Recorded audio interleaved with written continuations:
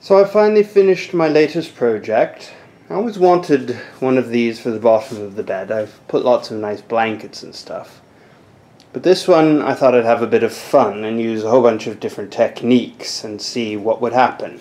So this is my first um, exploration using my 12 needles felting machine. So that's how I created this texture. So it's basically, I've used this canvas, which you can see here is the binding, and here, and from the other side I've used uh, quite a few different things. I've used cotton, I've used some thread, I've used lots of strips of fabric, and I've pushed through. And then here, I've taken Japanese cherry blossom trees, I've reversed some around, I've shrunk them, and I've altered them slightly so they're not all identical to create that. And then here we have just red mountains, which is of course very common to see red mountains, but what I did is I manually stitched all of this to get the snow to give a bit of direction.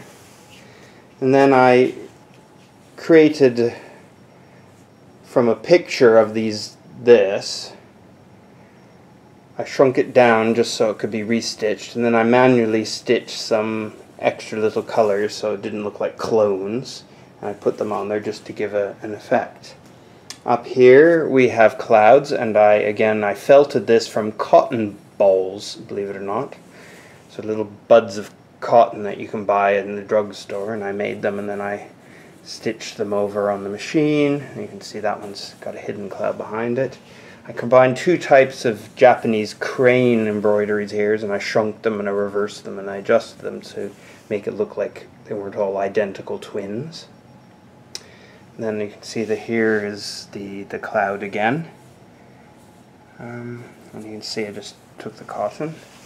Put a little Japanese temple in here for good measure, just for fun. It, it should be it's a little bit cockeyed, but that's alright. It gives a sense of perception. And a little Japanese sun, which was fun. So the whole effect is...